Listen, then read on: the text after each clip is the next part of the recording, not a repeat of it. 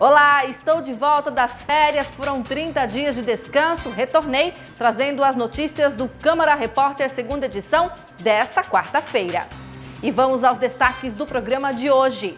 Comissão em Defesa dos Direitos da Pessoa com Mobilidade Reduzida debate a falta de parceria dos governos com as instituições. Comissão de Direitos Humanos discute a implantação do Plano Municipal de Políticas sobre Drogas. O Aeroporto Internacional Governador Aloysio Alves vai voltar a receber voos noturnos a partir desta sexta-feira, dia 6. A Associação Norte Rio Grandense Pró Idoso promove ato para cobrar mais atenção aos direitos das pessoas na terceira idade. Tudo isso e muito mais a partir de agora.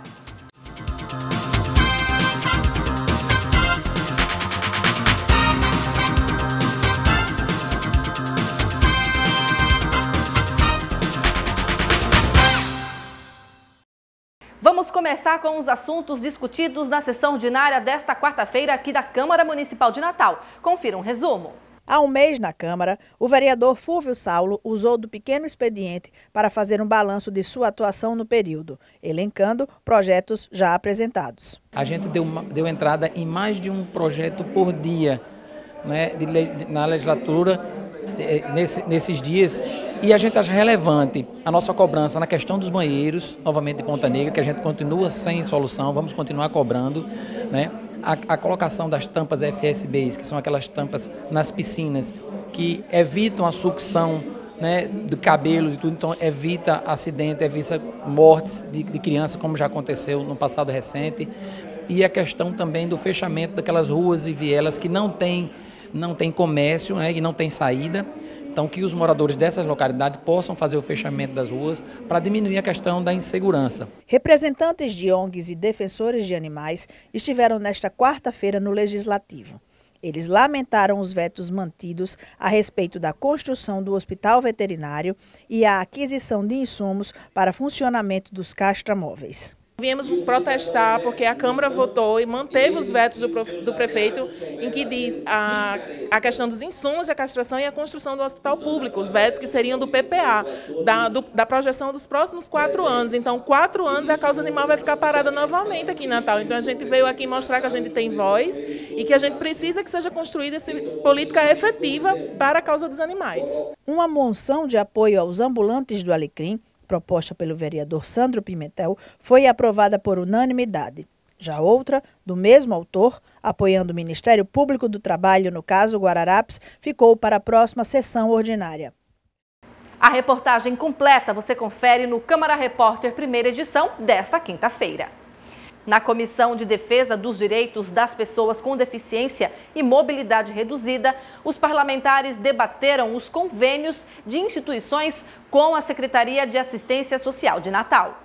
Cada vereador da comissão ficou responsável por visitar algumas instituições de assistência e atendimento à pessoa com deficiência. A vereadora Júlia Ruda fez um balanço do trabalho desenvolvido pela Associação de Síndrome de Down do Rio Grande do Norte, Sociedade Professor Heitor Carrilho e também a Associação dos Surdos de Natal. O que se percebe é que as instituições, mesmo com tanta dificuldade, com a precariedade, mesmo assim, elas têm dado realmente é, resposta e muitas vezes supri, vem suprindo aí a ausência do poder público, né? tentando a reabilitação, é, o acompanhamento das pessoas com deficiência. E agora está sendo discutido também aqui na comissão a questão dos convênios, né? essa, essa questão da, muitas vezes, da descontinuidade de um projeto por falta também de um apoio sistemático do poder público. A próxima reunião já tem data para acontecer. Será realizada no dia 18 de outubro, com a presença da Secretaria Estadual e Municipal de Assistência Social, além da OAB.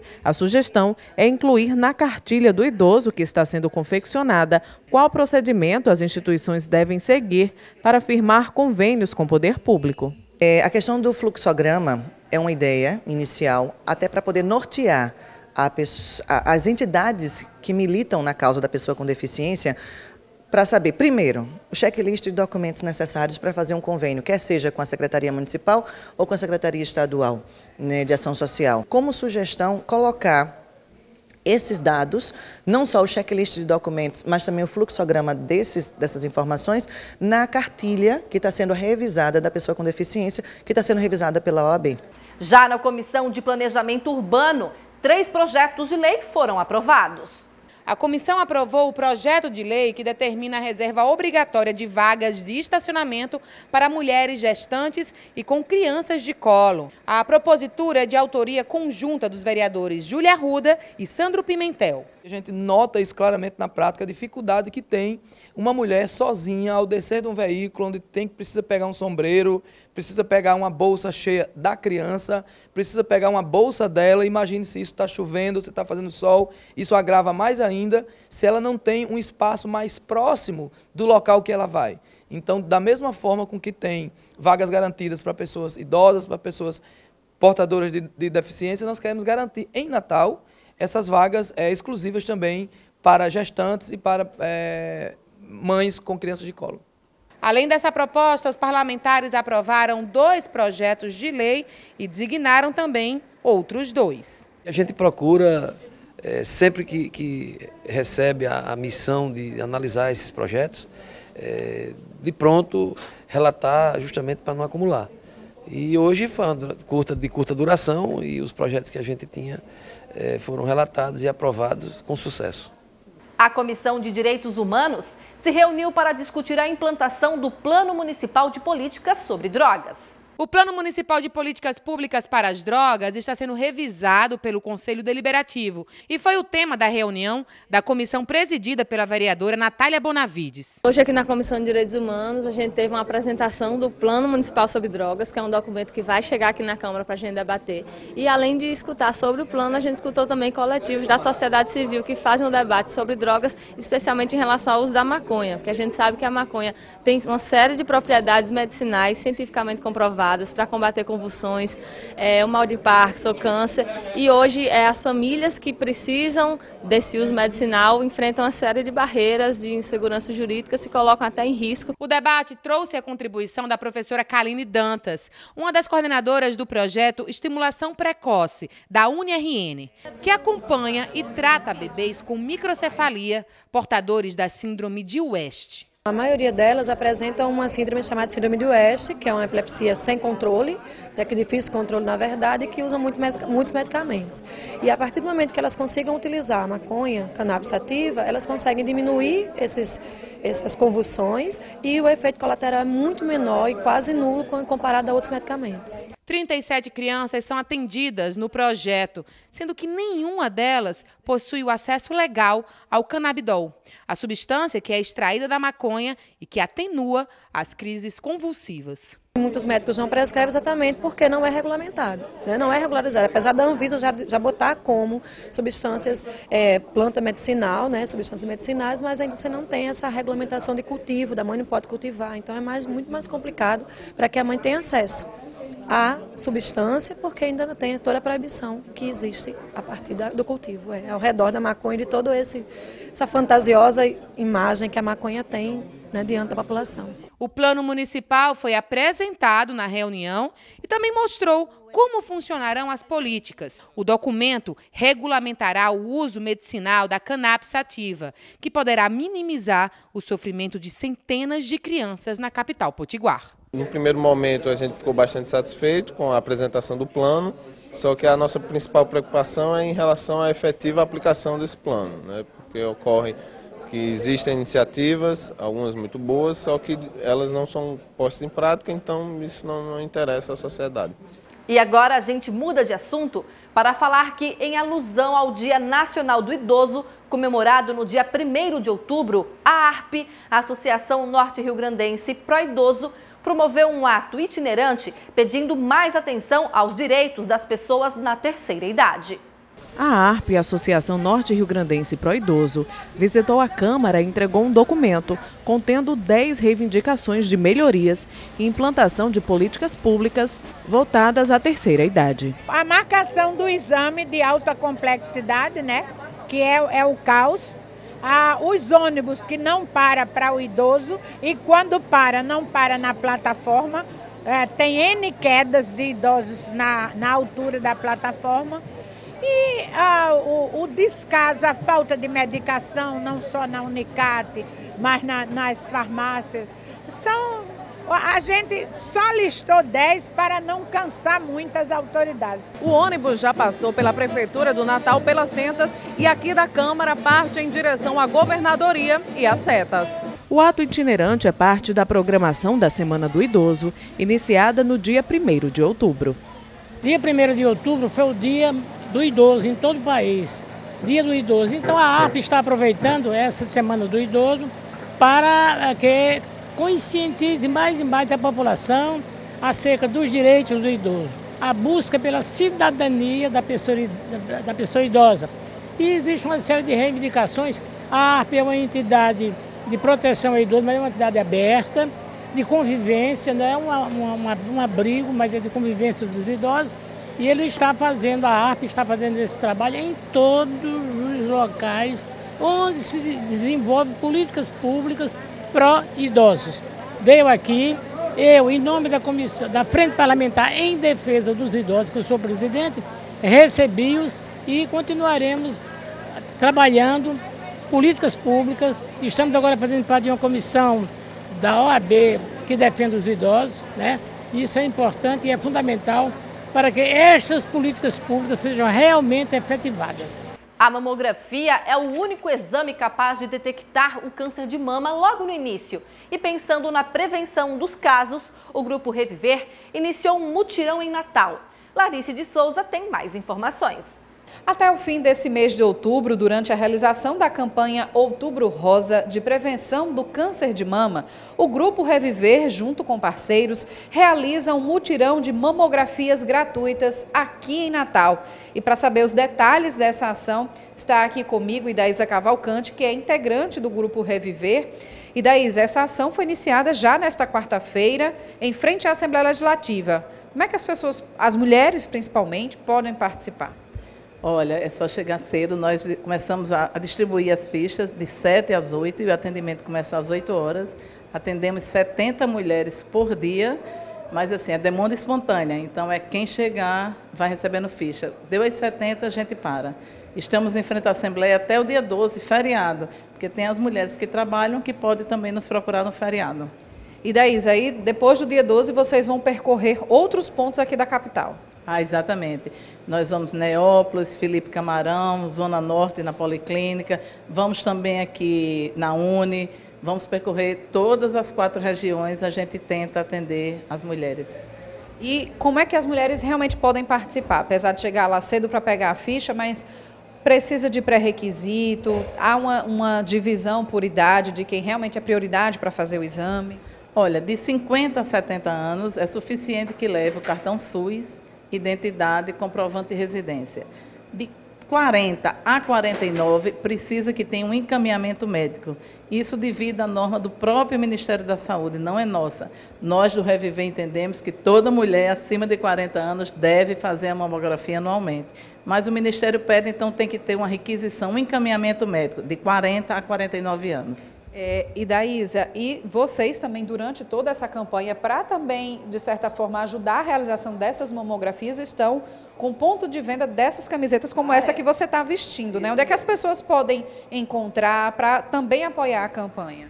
Olha, nós temos várias pessoas vendendo, vários pontos de venda, mas o nosso ponto de venda oficial, fixo, é na loja Mulher Rendeira, na Afonso Pena, quase esquina com a Judiaí, e também no Midway. Quanto custa a camisa? 20 reais e é uma grande ajuda porque complementa no pagamento das mamografias. Então é uma ajuda muito grande vocês comprarem, nos, contribuírem. E Zé Cavalcante, obrigada pela sua participação. Então fique esse alerta. Quem quiser, até o dia 12 de outubro, procura a unidade móvel do Grupo Reviver Salvana Galvão lá para fazer as mamografias. Larice de Souza para o Câmara Repórter. A Secretaria de Mobilidade Urbana de Natal faz um alerta sobre o horário permitido para estacionamento na Avenida Afonso Pena. Simone Silva tem as informações. A Secretaria Municipal de Mobilidade Urbana informa que no horário das 19 às 22 horas, os espaços próximos ao canteiro central da Avenida Afonso Pena são destinados exclusivamente à prática esportiva. A via já possui placas em toda a sua extensão, iluminação específica e linhas delimitadoras de sinalização horizontal. Os motoristas que forem flagrados fora do horário permitido passarão a ser multados. Simone Silva para o Câmara Repórter. O Aeroporto Internacional Governador Aloysio Alves vai voltar a receber voos noturnos a partir desta sexta-feira, dia 6. Inicialmente prevista para o dia 10, a retomada dos voos entre as 5 horas da tarde e as 6 horas da manhã foi antecipada porque as obras na pista do terminal aéreo foram concluídas nesta quarta-feira. De acordo com a Inframérica, a obra deve garantir o funcionamento da pista pelos próximos 10 anos. A liberação antecipada da pista tem o objetivo de evitar os cancelamentos de voos noturnos e receber qualquer tipo de aeronave. Apesar da liberação da pista, os voos noturnos nacionais e internacionais só serão regularizados a partir do dia 10, seguindo o planejamento estabelecido pelas companhias aéreas. A dica agora é cultural. Que tal terminar a semana indo ao teatro? Quinta e sexta-feira tem a apresentação gratuita do grupo teatral Esquadrão da Vida. Luísa Mendes tem os detalhes. A Boca Cultural recebe amanhã o grupo de teatro Esquadrão da Vida. O grupo brasiliense, que atua desde a década de 70, fará a apresentação do espetáculo Quando o Coração Transborda. O texto propõe uma reflexão sobre a arte do, da atuação e também reconta um pouco da história do grupo de teatro. A entrada é gratuita e os ingressos serão distribuídos uma hora antes de cada apresentação, que acontece, como eu já falei, quinta-feira e também sexta-feira, a partir das 8 horas da noite, lá na Boca Cultural. Além do espetáculo, o grupo também realizará uma oficina para performance artística. Então, os interessados devem entrar em contato lá na Boca por meio do e-mail abocacultural@gmail.com, enviando assim um currículo resumindo, resumido e também uma carta de recomendação, tá bom? Luísa Mendes para o Câmara Repórter. E agora nós vamos para um rápido intervalo e na volta tem uma entrevista com o vereador Luiz Almir. Eu aguardo você.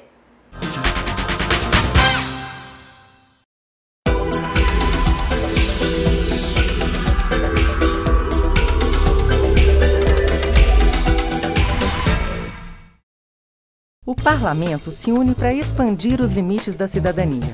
É a rede legislativa de TV digital. Graças ao recurso da multiprogramação, quatro emissoras independentes estão disponíveis em um mesmo canal na sua televisão. TV Câmara, TV Senado, TV Assembleia e TV Câmara Municipal já transmitem em sinal digital aberto e gratuito para dezenas de cidades do Brasil. Isso significa muito mais qualidade de som e imagem e muito mais conteúdo para você.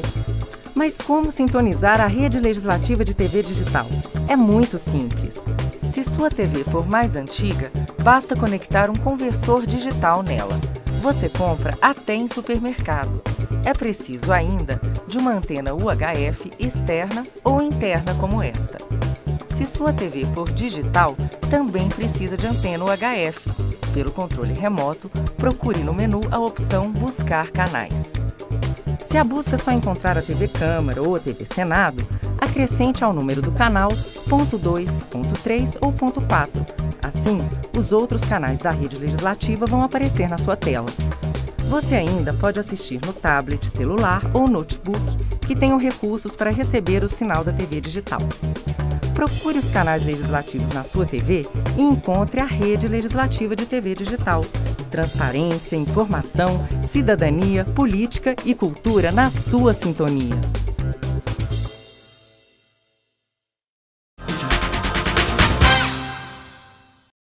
Estamos de volta com o Câmara Repórter, segunda edição, e o nosso convidado desta quarta-feira é o vereador Luiz Almir, que já está aqui comigo. Vereador, seja bem-vindo. Eu que fico feliz saber da audiência que a TV Câmara tem hoje.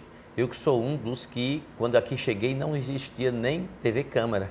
Hoje a TV Câmara já é um grande sucesso, já tem um número enorme de telespectadores, e isso me deixa muito feliz. Eu tenho quatro mandatos de vereador, né? São 16 anos nesta casa. Graças a Deus, nada desabona a minha conduta, nem vai desabonar, porque eu vim aqui para fazer o bem a esta casa, a Natal, e deixar bons exemplos para meus filhos e para aqueles que acreditam e gostam de mim.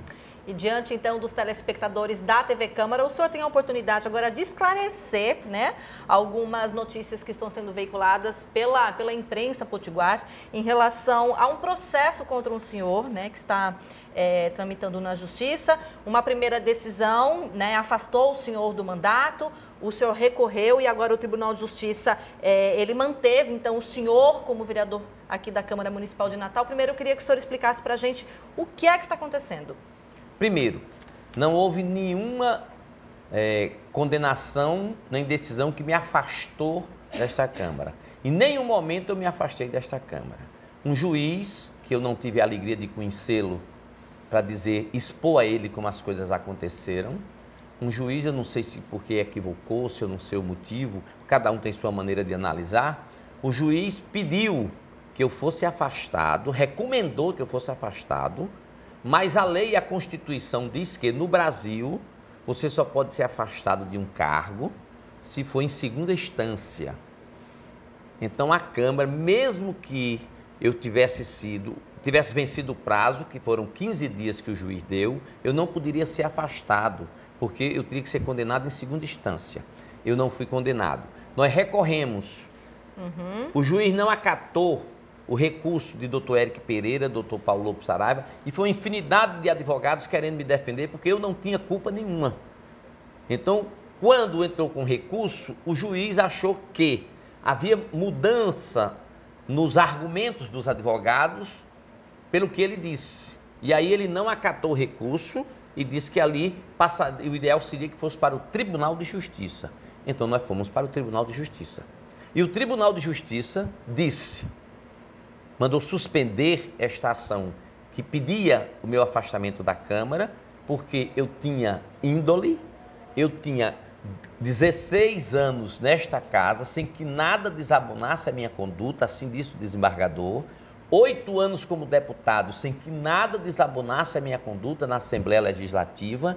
40 anos de comunicação, de rádio AM, FM, televisão e jornal, sem que nada desabonasse a minha conduta, então ele não via motivo de afastamento do meu mandato. Certo. Graças a Deus, a Santa Clara e a milhares de pessoas que me conhecem sabem que eu não merecia isso. Vereador, qual foi a acusação né? e quais são as provas contra o senhor? Não tem prova. O que aconteceu foi o seguinte.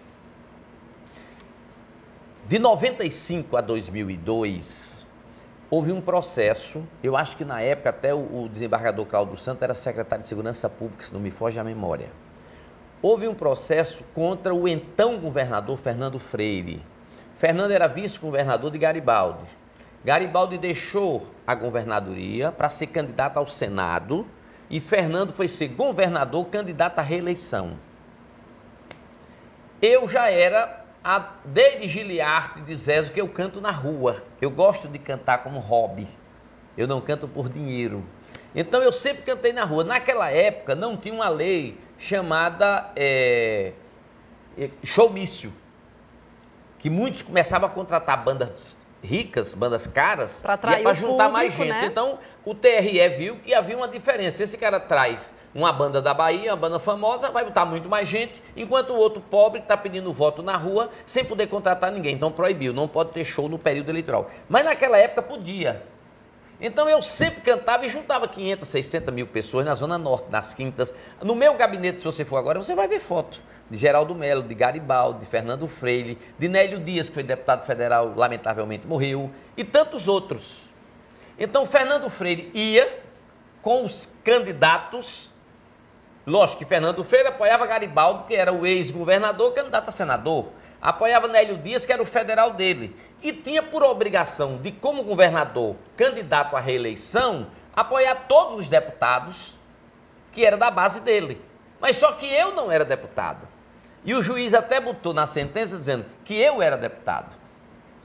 Aí Fernando Freire, até de uma maneira que me surpreendeu, mas muito correta, mesmo estando preso, disse no jornal de Alex Viana, no jornal Agora, disse, no dia 14 de, de março, se não me foge a memória, Luiz Almi nunca foi ordenador de despesa, nunca trabalhou na vice-governadoria, nem na governadoria, e eu conheci Luiz Almi em 2001, Luiz Almi era vereador, Luiz Almi foi deputado de 2003 a 2009.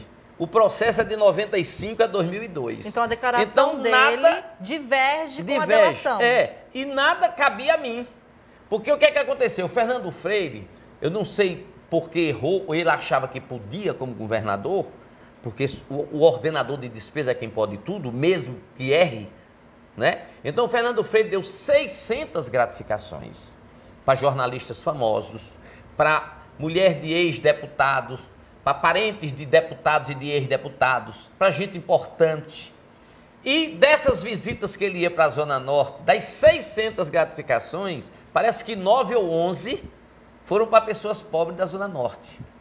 Então, na delação premiada, a Socorro Dias, que era quem fazia tudo para Fernando Freire, ela disse, ela esqueceu de dizer que até a irmã dela ganhava gratificação, mas aí ela disse, olha, essas 11 pessoas vêm da Zona Norte de Luiz Almir. E até com lápis grafite ela, ela marcou. E aí o juiz me incluiu no processo. Ora, pedir é legítimo quanto negar. Eu hoje estou vereador no quarto mandato, mas eu não posso dizer, eu vou empregar você agora, eu tenho que pedir a Ney. Só Ney pode empregar, porque ele é o ordenador de despesa. Se eu disser, vou botar um funcionário meu do meu gabinete para fora, eu tenho que pedir a Ney. Só ele pode exonerar. Então, só Fernando podia dar o cargo, podia dar o emprego. Agora, se ia dar expediente, quem podia dizer era ele, que é o ordenador. Se essa pessoa recebeu uma gratificação, se a pessoa, com licença, recebeu aqui uma gratificação de Fernando Freire, assinada por ele, que era o governador, eu não podia. Se essa pessoa comesse, engolisse, podia. Se rasgasse, podia. Se desse a metade a você, podia. Se sentasse em cima, podia. O dinheiro era dela. Agora, ele que deu. Então, o ordenador de despesa era ele. Eu fiz questão que quebrasse meu sigilo bancário, não tinha um centavo na minha conta, graças a Deus. Eu fiz questão de fazer exame grafotécnico, para não dizer que, que as pessoas assinavam no verso. Tinha gente que ia para lá com agiota, que já devia aos outros. Aí paga fulano, entrega o cheque a fulano, porque era um erro de Fernando Freire, que foi que consertou outros governos, que os governos pagavam com cheque nominal. Hoje não. Qualquer poder hoje, Assembleia, Câmara, Governo, você tem que abrir uma conta e o dinheiro, certo. o pagamento cai na sua conta. Naquela época não era. Era um cheque nominal. Então muita gente assinava, pagava uma agiota, pagava um colega que já estava devendo a metade, bota na sua conta, quando pagar, me devolva a metade. Eles. A delatora. Eu nem tinha gratificação, nem, nem podia dar, nem recebi. O senhor acha que ela se confundiu ou o senhor acha que foi um equívoco então do juiz? Eu acho que houve um equívoco. Eu não posso pensar que foi maldade. Foi um equívoco que me machucou muito. O senhor está confiante eu, aí? Esse ano eu perdi a mulher, eu capotei um carro. Eu, eu fiquei em casa chorando com meus filhos. Eu cheguei até a pensar em tirar minha vida. De tanto foi a dor. Porque quando você é culpado, você diz, bom, eu errei e vou pagar. O ruim é quando você não tem culpa nenhuma. Você tem uma história como eu, a política está toda, né? Mal falada, toda é, é, é, corrupção por todo canto. Eu sou dos poucos que as pessoas ainda me abraçam, pedem para tirar uma foto, minha mãe sua fã, meu pai, isso é meu maior patrimônio. Então, uma acusação dessa contra mim, nos meus 65 anos, já viúvo, eu preferia morrer. Se provar, eu disse isso em todas as emissoras de televisão e estou dizendo aqui, se provar que eu cometi erro de desonestidade, ou Deus tira minha vida, ou eu tiro minha vida. O senhor está confiante, Eu tenho que então. deixar para os meus filhos bom exemplo, como eu estou deixando. Eu tenho três filhos. Aí eu vou só perguntar a você, olha bem, que coisa absurda. Eu fui o único vereador de todas as câmaras do Brasil que congelei os salários dos vereadores, do prefeito e dos secretários do município até 2020, economizando 15 milhões para o poder público. O salário nosso, e a lei permitia. Só que eu disse ao presidente Franklin, é legal, mas é imoral. Nós precisamos, numa crise dessa, colaborar. Então vamos chamar os vereadores. Fomos para o plenário e disse, gente, nós temos direito a aumento 2017, 2018, 2019, 2020. Mas vamos manter congelado esse salário, que é uma maneira da gente dar nossa contribuição na crise que nós estamos vivendo. Diga aí, economizamos 15 milhões, nem prefeito, nem secretário, nem vereador. Nós congelamos verba de gabinete, que era 75% da Assembleia, como a Assembleia tem 75% do, do federal. Se nós tivéssemos 75% da Assembleia, já tínhamos 30 mil de verba. Hoje só temos 16, porque também está congelado até 2020. Eu fui presidente da Urbana com um salário de 9 mil, eu estava desempregado. Quando eu cheguei na Urbana, aí disseram, olha, aqui tem que ter cuidado porque estão botando água no, no lixo, porque paga pelo peso. Então a água no lixo, lógico que ia pesar mais. Eu disse, fui à prefeita, então prefeita Micarla, e disse a ela com uma carta de demissão: Você me pediu para cuidar do lixo, não foi para morrer no lixo. Eu não sou homem disso. Tome. Mas Luiz vai pedir demissão com 12 Vou pedir demissão com 12 dias. E vou fazer rádio e televisão, que é a minha profissão. Eu estou vereador, agora eu sou comunicador. Então, um homem que age assim, não faz nada errado. Vereador, vamos só mudar um pouquinho de assunto agora para falar também dos projetos de lei do senhor que estão em tramitação aqui na casa. E eu cito agora um que proíbe é, a cobrança para a utilização de espaços públicos. E aí a gente retoma aquele assunto que foi bastante discutido aqui na Câmara, né? Que a Prefeitura pretende privatizar os banheiros públicos ali da Praia do Meio também e da Praia de Ponta Negra. É. O que é que eu apresentei o projeto? Esse projeto de início proíbe qualquer tipo de cobrança. Quando a prefeitura vem explicar as dificuldades, e nós precisamos ter, por exemplo, a prefeitura tem 20 banheiros, mas você tem que ter 20 funcionários 24 horas. Então não pode ser 20 funcionários por dia. Tem que ser 20 vezes 3. São 60 funcionários para cuidar do banheiro, porque são 8 horas por dia. Então, quando o prefeito disse as dificuldades, eu disse, eu posso até abrir mão da seguinte forma. A empresa que vai cobrar, por exemplo, R$ reais para você usar um banheiro, de cada 10, ela só pode cobrar, ela vai cuidar dos 10, mas ela só pode cobrar de 7, deixando 3 com a placa grande, gratuito. Que é para pessoa que vai para a praia, que não vai lanchar, que não leva dinheiro, vai só tomar seu banho de mar e volta. Ou uma pessoa de uma cadeira de roda, um deficiente, uma pessoa. Então ele tem que ter direito ao banheiro gratuito, limpo. Então quem cobra dos 10 para manter limpo, sem que os vândalos quebrem, porque já quebraram vários, então, os que cobram dos sete tem que ter três gratuito. Essa foi a nossa, o nosso acordo depois que o prefeito explicou a dificuldade. Agora, as feiras livres têm que ter banheiros químicos, porque eles são colocados antes, durante e quando termina a feira, tira. Não é? Estão sem banheiros. Me disse o, o secretário Johnny que é porque aquelas empresas que estão respondendo processos foram afastadas e eles haviam atrasado com a imunizadora Potiguar, me parece que quatro meses, e que agora estava fazendo um novo acordo para agora em outubro, já este mês, voltar às feiras livres ter banheiros. Porque quem um barraqueiro, ele leva a mulher, leva a filha, leva um genro. E você já imaginou esse povo sem ter como ir no banheiro? Pedindo ao comerciante que não gosta para usar o banheiro do comerciante. Então, é preciso ter. Então, há um compromisso de agora em outubro a gente ter esses banheiros nas feiras livres. Inclusive, eu estou emendando, fazendo uma outra recomendação na, das feiras livres, para que o barraqueiro bota a banca. Ninguém é, é contra feira, é contra é terminar a feira e deixar as bancas a semana todinha na rua. Aí não tem dono de casa que aguente o mau cheiro, não é? Então, quem botar sua banca numa feira, terminou a feira 5 horas da tarde, leve sua banca para casa, para onde você quiser. Deixe a rua limpa onde era a feira. Vereador, em relação né, a, a, um trabalho que a Prefeitura de Natal vem fazendo para organizar o comércio ali no Alecrim, é, uh, inclusive é, vários ambulantes, os comerciantes informais, eles já vieram aqui à Câmara, né, tentar entender o que, o que é que a Prefeitura quer fazer, é, vieram pedir, inclusive, também né, que a Câmara ela participasse dessas discussões. O senhor acha que os ambulantes eles devem ser removidos? O senhor acha Não, que eles devem ter seguinte, um espaço definido para o comércio deles? É o seguinte, aquele camelódromo, ele foi instalado quando o José Agripino foi prefeito. Olha quanto tempo faz. Eu era menino. Eu era vendedor da Malhas Mil. Eu vendia calça jeans no ombro. Ali nas calçadas não tinha nem televisão, era carro de som. E eu era ali. Então, quando chegou o camelódromo, chamava o Galego do Alecrim, Zé Agripino, era prefeito de Natal. E foi muito bom para o Alecrim. Agora, ninguém cuidou. Uma coisa é você organizar, outra coisa é você tirar o ganha-pão. Então eu sou contra. Eu acho que aquele camelódromo deveria passar por uma reforma, os corredores mais largos, aquelas tendas que estão velhas, feias, o vento arrancando. Então vamos fazer um camelódromo bonito, organizado, sem tirar o ganha-pão. Agora o que é que eles querem fazer? Tem um grupo de empresários que é muito bom, quer fazer um shopping na Avenida 1, que é a Rua da Feira. Não tem nada a ver com a Avenida 2 do camelódromo. Mas eles querem tirar os camelô para forçar a barra para os camelô comprar as lojas do shopping. E tem dinheiro. Ali tem camelô que ficou do avô para o pai, agora já está do pai para o filho. A vida Vai inteira ele só sabe fazer aquilo. Geração, né? Então, não vamos. Eu digo mais: se tirar aquele camelô, talvez até o shopping que vai inaugurar quebre. Porque o, o alecrim pode virar a ribeira. Cuidado para o Alecrim não virar ribeira. Aquele camelódromo, quem vai para o Alecrim quer ver o camelô, quer, quer ver gente na rua. É como, como na praia. Ah, na praia o homem vendendo uma rede nas costas, deixa vender. Nós estamos com 200 mil desempregados, não tira o ganha-pão. É melhor uma praia um pouco feia, mas o povo ganhando com dignidade o ganha-pão, ou uma praia bem limpinha e o povo passando fome?